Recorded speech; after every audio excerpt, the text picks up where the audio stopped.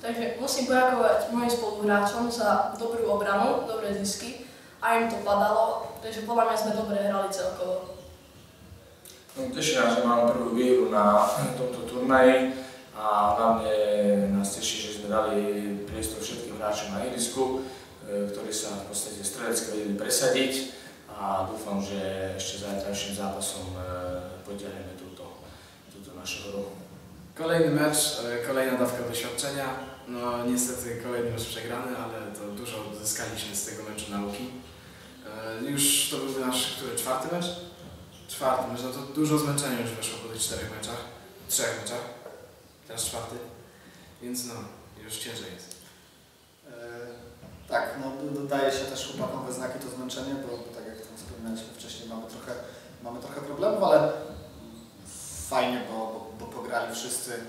E, Dużo zawodników zdobyło punkty, choć wiadomo, nie, nie było ich, ich dużo w porównaniu do, do drużyny przeciwnej, ale e, każda, każda minuta się liczy,